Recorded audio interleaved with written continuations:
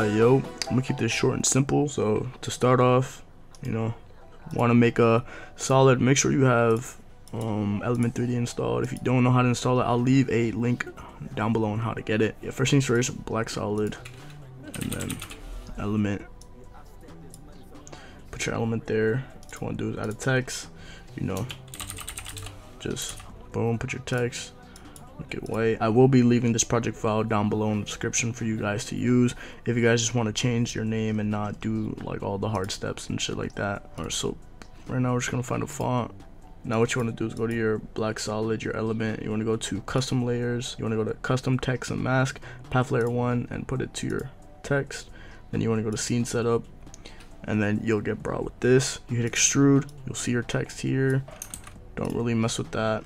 Zoom in and stuff like that. You see it has a little extrude, but if you want it to be more extruded, you could just hit the, be the bevel size and it'll go bigger.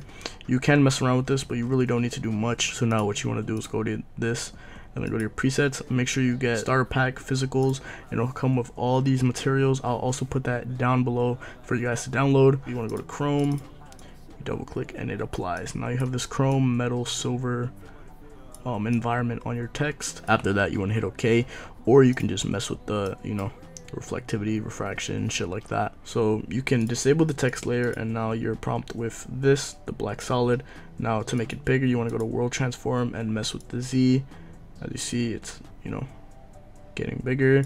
And then so once you size it to your liking first things first we're gonna make this more alive. So basically you want to go to render settings and then ambient occlusion enable it and then raise it up like bump it up you, as you see like it gets a little darker in the back it adds more shadows to the text um i'm gonna leave this environment for you guys to mess with but we're gonna add something called an environment. Basically, the image that's applied to this text is this right here. Basically, you see how um, it's showing the image, but on the as you go in circles, you'll see the image through the text.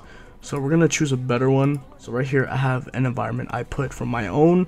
That's, that'll be linked down below for you guys to use as well. And see, it's a little bit better. It's a little more textured here.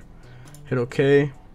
Now basically, it's a little more darker you can mess with the stuff here but now what you want to do to make it spin you want to mess with the world rotation and the Y so you want to animate that and you would go a few frames ahead maybe like three three seconds and you want to make it do a full 360 so you can either just do that or just type 360 there. And there you go. And now you'll see it's spinning. That might be a little bit too big so just for this video I'm going to make it a lot smaller.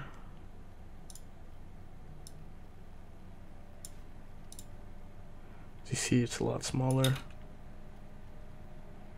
So anyway, that's how you do that. If you guys found this helpful, please leave a like, subscribe, and comment down below what you want to see next.